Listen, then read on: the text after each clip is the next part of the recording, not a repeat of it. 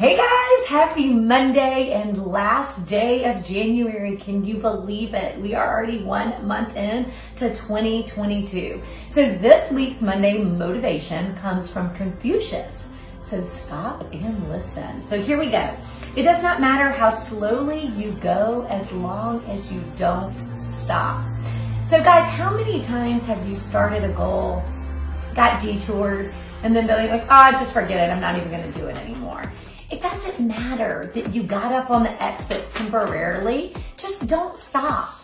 Put your big girl pants back on, get back on the horse, and get back moving towards that goal. So no matter what that means, maybe it's a race, maybe it's a diet, maybe it's a business goal, maybe it's a personal goal. You just want to spend more time with friends or you have a relationship that you want to reinvest with and take it to the next level. No matter what it may be that you're considering or have been pondering, don't stop, get started again. Don't worry about the amount of time it's taking you to get there. Just keep moving. Have a great week and we'll see you next week.